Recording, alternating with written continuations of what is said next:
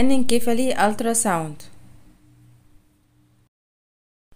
Anencephaly is the most severe form of cranial neural tube defect and is characterized by an absence of cortical tissue, although the brainstem and cerebellum may be variably present, as well as an absence of the cranial vault.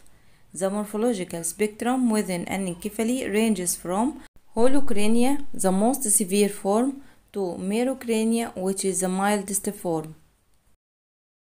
Antenatal ultrasound Anencephaly may be sonographically detectable as early as 11 weeks.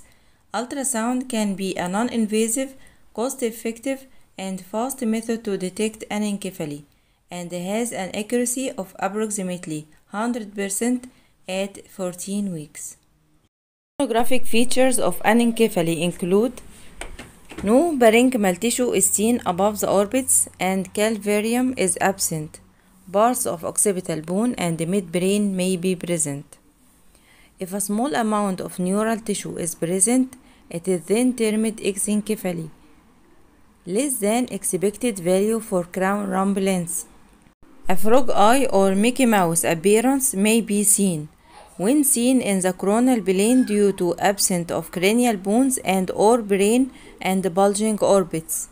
Also, antenatal ultrasound may show evidence of polyhydramnios due to impaired swallowing.